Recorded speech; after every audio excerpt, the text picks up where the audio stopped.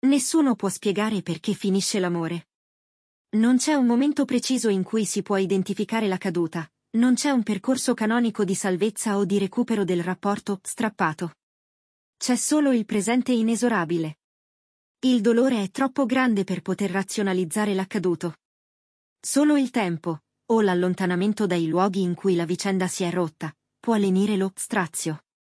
Lei si domanda, sono io a non aver capito nulla, a non aver saputo intuire le debolezze e agire per rafforzare il rapporto, il dialogo, la tenerezza, i ricordi del suo profumo, del suo modo di muoversi, dell'inadeguatezza dei suoi comportamenti, senza rimedio quell'arrivare sempre in ritardo, servono ben poco per cercare un chiarimento, surreale, impossibile.